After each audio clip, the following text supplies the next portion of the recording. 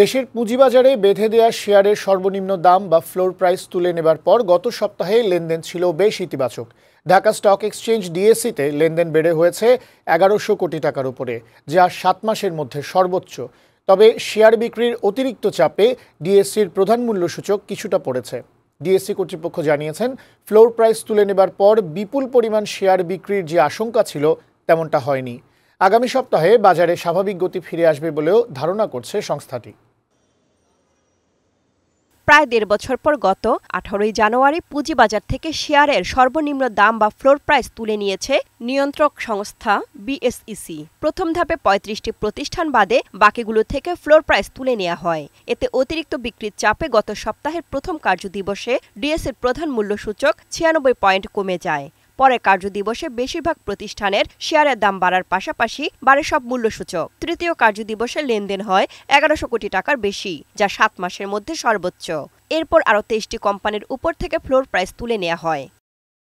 Floor price তুলে নেয়ার পর অতিরিক্ত শেয়ার বিক্রির চাপ আসার আতঙ্কে ছিলেন সংশ্লিষ্টরা। তবে তা ধারণার চেয়ে কম হয়েছে বলে মনে করেন ডিএসির পরিচালক শাকিল রিজবি ফ্লোর প্রাইস উঠানোর আগ পর্যন্ত যে বিনিয়োগকারীর ভিতরে একটা ভয় ছিল এবং যে গুজব ছিল প্রোপাগান্ডা ছিল ফ্লোর প্রাইস উঠাই দিলে মানে ছয়, সাতশো, এক হাজার পয়েন্ট কমে যাবে বাস্তবতা কিন্তু তার কিন্তু কিছুটা হয় নাই। ফ্লোর প্রাইস উঠানোর পরে রবিবার থেকে ট্রেডিং শুরু হইল। অলরেডি একটা ভালো পারফর্মিং মার্কেটই ছিল এবং যে ভয় ছিল সেটাও কেটে যাচ্ছে।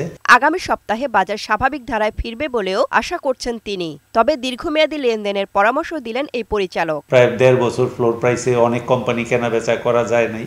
এখন আস্তে আস্তে মানুষজন আবার যারা সাইডলাইনে ছিল, তারা আসছে। যেটা ন্যাচারাল ট্রেডিং হবে, সেটা আগামী সপ্তাহে বোঝা যাবে। যেই শেয়ার কিনবেন, নিজের বুদ্ধি বিবেচনা করে কিনবেন এবং যাতে কম দামে কিনতে পারেন, সেটা লক্ষ্য রাখবেন এবং দীর্ঘমেয়াদী বিনিয়োগের উদ্দেশ্যে কিনবেন।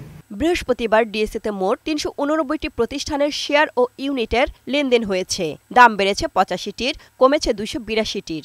আর বাইশটি প্রতিষ্ঠানের শেয়ার ও ইউনিটের দাম অপরিবর্তিত রয়েছে। তানজিলা নিঝুম বৈশাখী সংবাদ ঢাকা।